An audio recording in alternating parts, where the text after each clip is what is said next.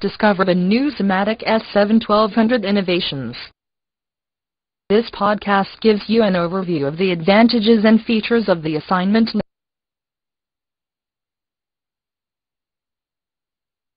You can conveniently view all of the objects in your program from the assignment list. Just select main OB1 from the program blocks in the project tree, and then assignment list from the tools menu. The assignment list shows you that OB1 uses one digital input, one digital output, and three memory words. It is also convenient to see the tag names in your program by hovering over any icon in the assignment list.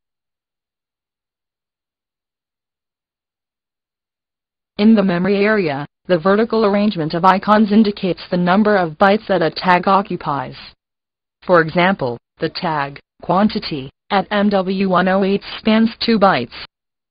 You can also easily access the PLC tag editor.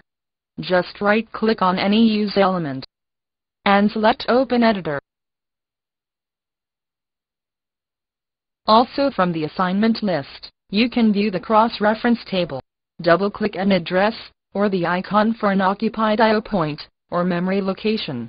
The cross-reference table shows you the networks and blocks that use the selection, and other helpful information. The assignment list can also show you if you have memory assigned to more than one tag. Here MD100 overlaps the existing MW100 tag. With all of these features, you can see how the assignment list helps you manage your program.